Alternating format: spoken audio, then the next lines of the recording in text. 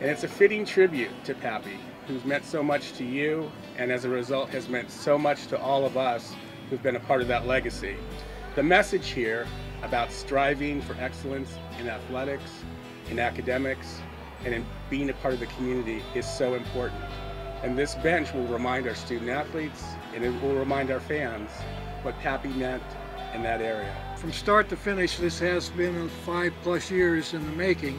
Uh, during that time, there were several changes of venue and, and several changes of the concept. But it's due to the perseverance of Pappy's boys, the athletic department, and two university architects that this is uh, brought to fruition today.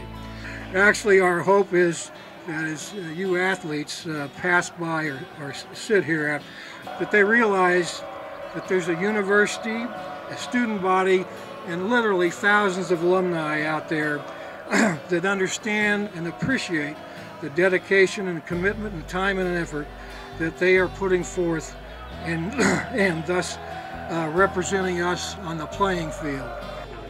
Forever, when we walk into the stadium, we will think about Pappy and Pappy's boys and what they've meant to Cal. This group of gentlemen has meant so much to Cal, and they've meant so much to the Cal community. And what they're saying is that they want to, they want our athletes to know that there are a group of men, a group of men who are very successful in football, in the classroom, and then in life, who are behind them and supporting them all the way. Since this was a place where, all the athletes were coming to work out in the gym, etc., visit their coaches, etc., this would be a place where we could, a venue that every stu student athlete would show, we could show that there were lots and lots of people behind them.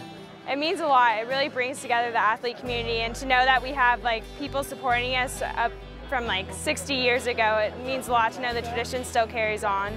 I think it's a great place to put it and I think it really helps bring people together and shows that we have support from all over.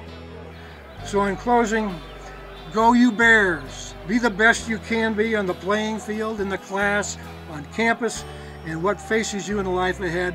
And thank you all for coming today.